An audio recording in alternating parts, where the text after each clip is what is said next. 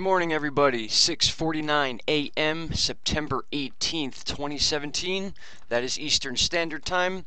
All right, we have satellite images here of Jose. We have Maria, and then we have Tropical Depression Lee, probably becoming uh, really nothing throughout the day today. Although I do see a little bit of a burst here as far as the storm center goes of uh, Lee.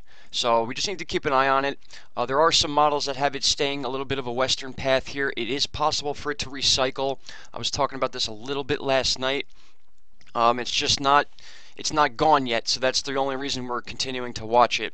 Uh, Maria is becoming a huge concern. Hurricane warnings all over the Lesser Antilles, Leeward Islands. Uh, we're going into Puerto Rico now, guys. Um, so for the people in those areas, you gotta just you gotta be ready for this now because this is turning into a major hurricane. We are still at Cat 1. Uh, 977 is the pressure. Uh, again, Cat 1, 90 mile an hour. We have hit over 100 mile an hour gusts which is just going to show guys this thing is rapidly growing. This thing's massive. It basically doubled in size in less than 10 hours. And they were making a big deal about that because when storms do that and when they're this low below the 20 degree line here, all that is is bad news. So they are now uh, really focusing in on the path of this storm. Um, they are thinking it's going to be a similar deal to, if I can get the right stuff pulled up here. There we go. They do think it's going to be very similar to Irma's original path. They are relying heavily on the Gulf pressure to keep this thing out of the Gulf and off the west side of Florida. Uh, areas like Naples and stuff are still uh, putting their lives back together, especially the Florida Keys. That's literally all they're talking about as far as the cleanup for Irma, just news crews in the Keys and stuff like that. So uh, the last thing we need is for them to get this hurricane but the last thing anyone needs is this hurricane right now, and all it's showing right now is it progressively getting stronger throughout the day. Um, I do believe it'll be a Cat 2 by the end of today, at least possibly Cat 3 within the next 30 hours, maybe sooner than that by the, the speed that this thing's growing. And it's just spinning so quickly. You can see in this wind map here, um, it doesn't go back too far uh, actually, okay, we can see that. Um, had it not been for these frames, I talked about this in another video, this thing looks like it was just going to pass off and, and, and be just a small system that moves to the west, and then out of nowhere, this thing just starts spinning like crazy. It's almost like skipping steps here. Uh, they do look for key things to happen in these storms, and then they get an idea of what the speed's going to be after that. But this thing's throwing everyone off right now. They don't know exactly what the deal is as far as how rapidly it's progressing. So what they're doing is they're keeping recon planes in the area um, which they don't normally do. They usually send them in, bring them home, but now they're bringing them into this storm and landing them in separate areas in other countries, basically, just so they have closer access to this thing so they can keep a close eye on it. Um, of course, we have Jose now beginning to bow out, just like we saw Irma did when it hit the south. Uh, began hitting the south tip of Florida and then up the side near Naples and all those areas. It began to bow out into the uh, into the states here, and then part of it came down towards the Gulf, uh, giving Houston a lot more rain, and then parts of it moved out to the upper east coast, and it was just a pain for days and days, and that's exactly what Jose is going to do, guys.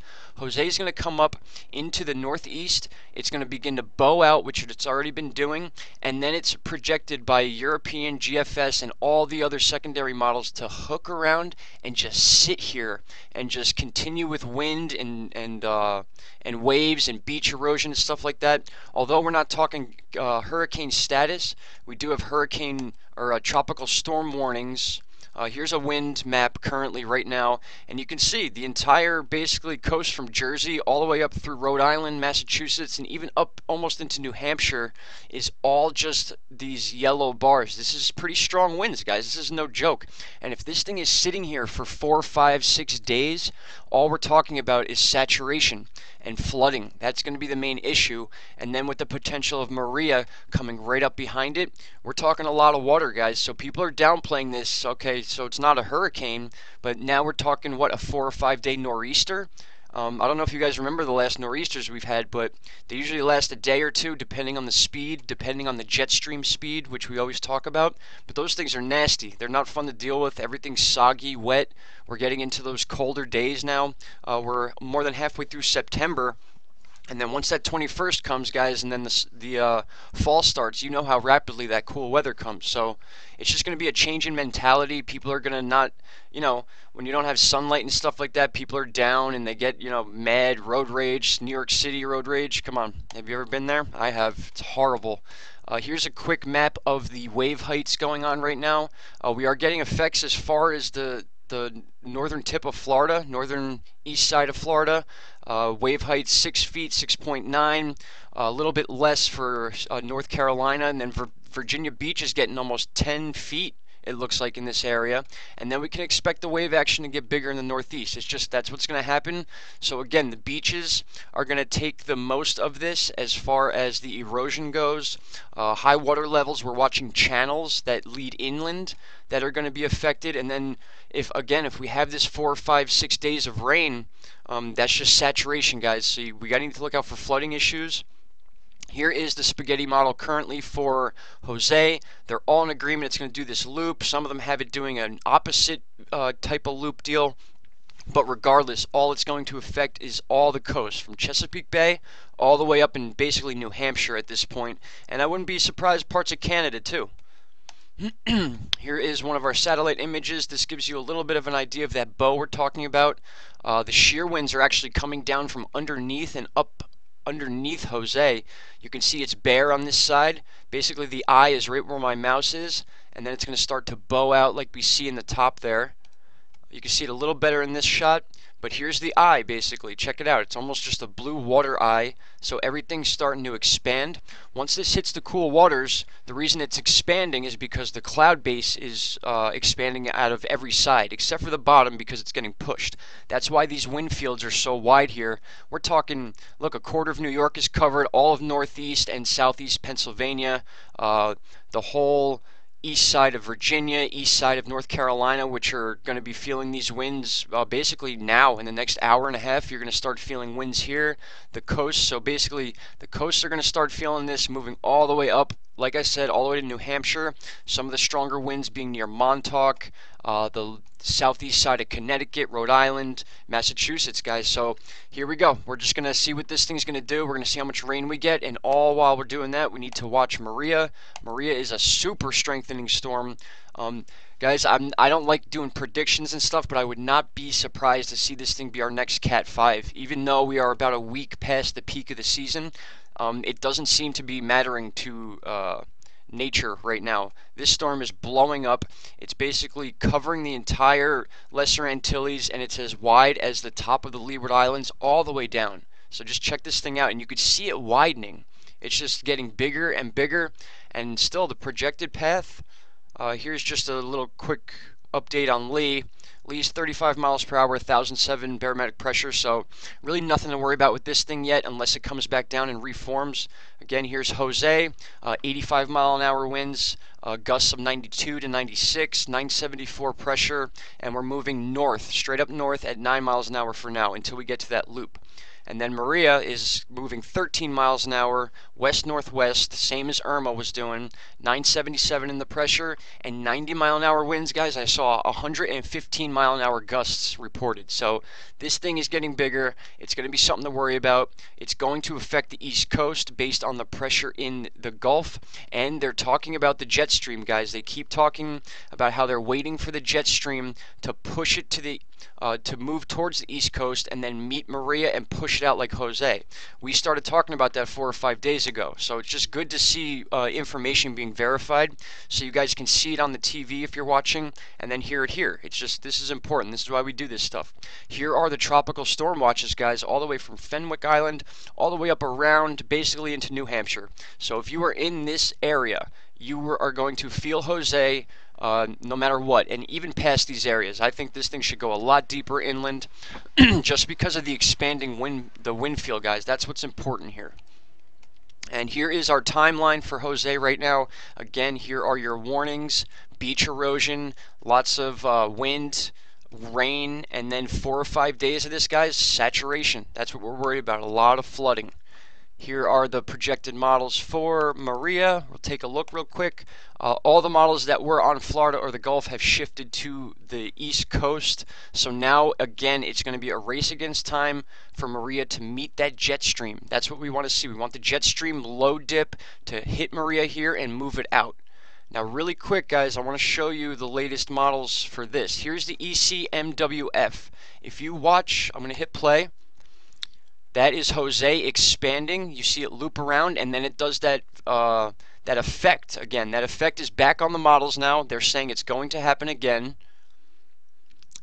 There they go. They meet right there, and they spin around each other, and actually swings Maria out into the Atlantic, which would be a good thing. We're just going to have to wait and see. You see them? And there it goes. There's Maria, a major hurricane still, even in the cold waters. You see that pressure? That was 955, guys. That's major. That's possibly a category three, even in the Northeast. So we are now relying on Jose and the jet stream to basically be uh, play a part in getting rid of Maria. We're just gonna have to wait and see. Now there is discrepancy with these models again, guys. Here's the GFS. Watch what the GFS does. There's Jose moving up past uh, Florida, Georgia, South Carolina, North Carolina, Virginia, and then into Delaware, New Jersey, Long Island gets swung on, and then uh, Massachusetts, it loops back around and then sits there for five days.